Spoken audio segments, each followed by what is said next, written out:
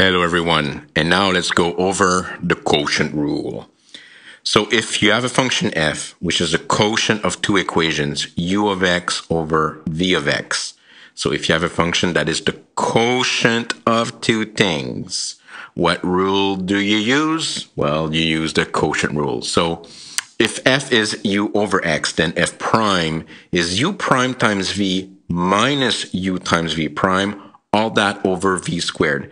So uh, one thing to notice here when you're trying to remember these formulas is that the numerator is really similar to the product rule, but you have a minus instead of a plus in between. And then if you start with a quotient, it ends with a quotient. So you just have to remember that you have v prime. Uh, uh, you have you have a denominator, and that denominator is over v squared. Sorry. So, anyways, uh, as usual, I think the trick here is the first few examples. You do it the long way.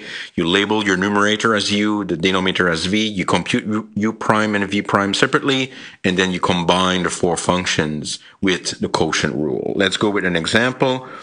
Uh, suppose uh, f of x is ex over x squared plus 1. So we have the quotient of two things. So let's use the quotient rule. So the numerator is going to be u. So in this case here, we have ex, and the denominator is x squared plus 1, so that's going to be v. Then you compute u prime, derivative of ex, that's a bit boring, but it's ex again. And for v prime, you're going to get 2x plus 0, or just 2x. And then you combine the four functions, so it's u prime, so ex times v, which is x squared plus 1, minus u, which is ex times v prime, which is 2x. And all that over v squared, so over x squared plus 1 squared. And you don't need to simplify, leave it like this. This will clearly show that you understand how to use the quotient rule. Okay, so unless you're using like these derivative for some application, if the question is just compute the derivative, like don't simplify. Okay, sometimes the more if you play too much with your function, the more you play with it, the more likely you're going to mess it up. So okay, move away from the answer. Okay, so that's going to be accepted. Okay, on the on the test. So anyway, so let's do another example. Suppose f of x is x minus 1 over x plus 1, so the quotient of two things. So the numerator is going to be x minus 1 that's going to be u, and v is going to be the denominator, x plus 1. So let's compute the derivative of x minus 1. That's just 1. It's just a linear function. And v prime, it's also 1. So u prime is 1 times v, which is x plus 1, minus u, which is x minus 1, times v, which is 1. All that over v squared, so x plus 1 squared. So again, you could leave it like this, but here you can actually simplify. If you multiply by 1, you're going to get for the numerator x plus 1 minus x minus x plus 1. So you're just going to get 2 over x plus 1 squared. Nice. Okay, so you're going, uh, so again here, label your u, label your v, compute your u prime and your v prime, and combine the four functions with the quotient rule. More, more, more, scream, scream the peasant. So, okay, okay, so next equation will be very important because this will be our first step towards um, having a list of derivatives for all the trig functions. We know derivative of sine is cosine and cosine is minus sine, but about tangent, cotangent, and all the other ones, well, tangent is going to be done by using, of course, the quotient rule, because if you want to differentiate tan, so my next example here, which is sine over cos, I'm going to do it using the quotient rule. So if we have sine over cos, so the numerator is sine, so that's going to be my u, my denominator is cosine. That's going to be my v. Now let's compute u prime. Derivative of sine is cosine. And then for v prime, derivative of cosine is minus sine. Now let's combine the four functions. So u prime, so we get cos of x times v, which is cos of x again, minus u, which is sine times v prime, which is minus sine of x, all that over v squared, which is cos of x squared. Of course, you could leave it like this, but in this question, it's going to be interesting when you simplify the actual formula. So at the numerator, cos times cos will be cos squared of x. Then you have minus sine times minus sine. That's going to become plus sine squared, all that over cos squared. And of course, cos squared plus sine squared, that's just 1 over cos squared. And cos squared, 1 over cos by definition is secant. So you're going to get secant squared. And actually, from now on, if you have to differentiate tan, you have two options.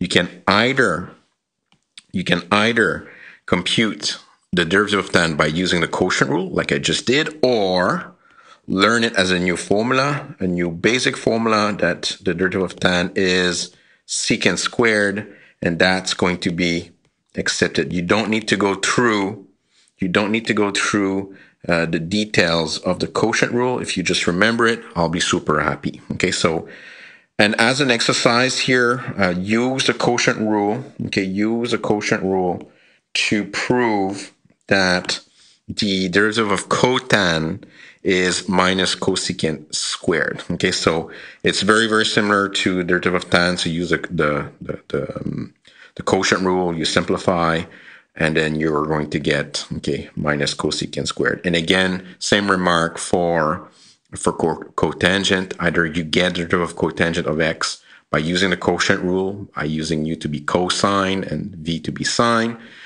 or you just remember it, and every time you see a cotangent and you have to differentiate it, you just use minus secant, cosecant squared right away. Okay, so it's up to you. It's a personal question. All right, let's go and do uh, more examples.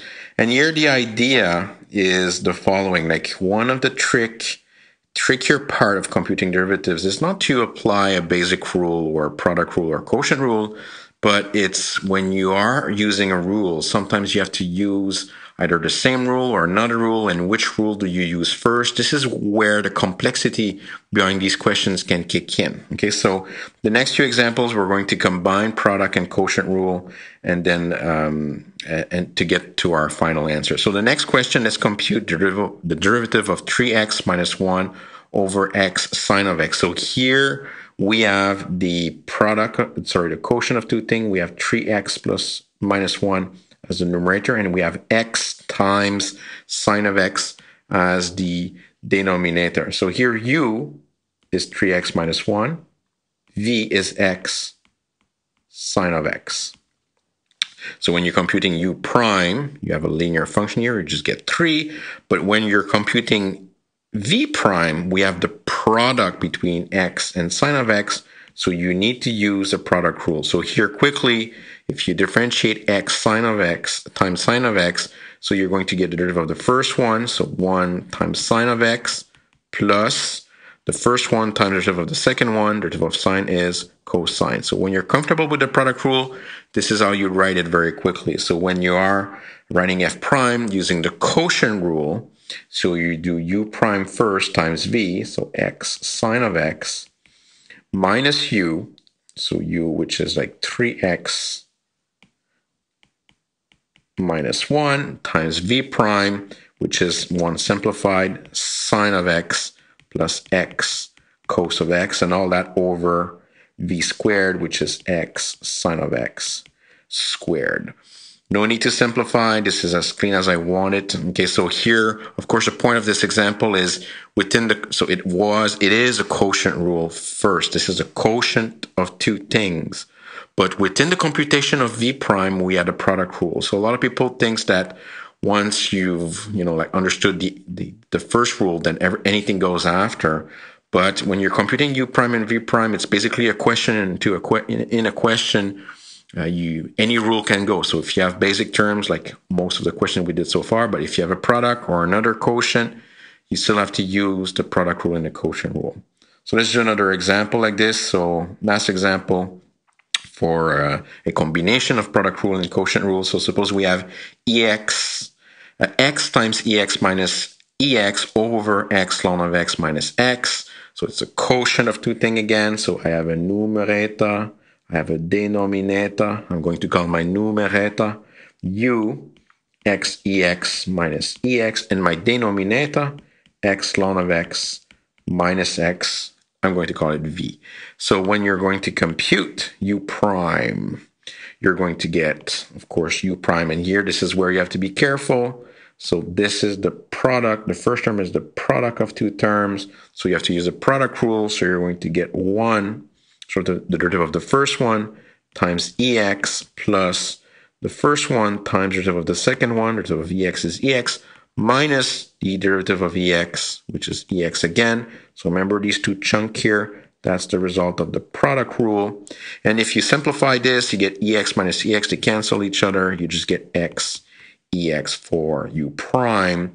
And now for v prime, it's the same thing. x multiplies ln of x, so you need a product rule here. So you get 1 times ln of x plus uh, x times the derivative of ln of x, which is 1 over x, minus the derivative of x, which is just minus 1. This is a linear part, so these two terms here, that's the result of the product rule. And if you simplify your thing a bit, so 1 times ln of x, that's just ln of x. x times 1 over x is just 1 minus 1. Bye-bye. Okay, so you're simplifying this to ln of x. And that's your v prime. v prime is just ln of x. Funny remark here. Well, it's not that funny, but we just found a function x ln of x minus x is a function such that its derivative is ln of x. Pretty cool, eh? Anyways, I'm a loser. Okay, so anyway, so now when I'm... Uh, applying the quotient rule to get f prime. So you're getting u prime first, which is x ex times v, which is x ln of x minus x minus u, which is x ex minus ex times v prime, which is ln of x. All that over um, v squared, so x ln of x minus x squared. And that's it. And again, here, I cannot stress enough the fact that uh, when you're computing u prime and v prime, you have to look at it as a brand new question. Don't make up new rules. A product will be, uh, you, you will deal with a product with a product rule. You will deal with a quotient with a quotient rule. Anyways, for that section, okay, on the product and quotient rule, that's it. That's all. We're going to move on to the last rule, which is a chain rule. All right. Anyways, bye-bye.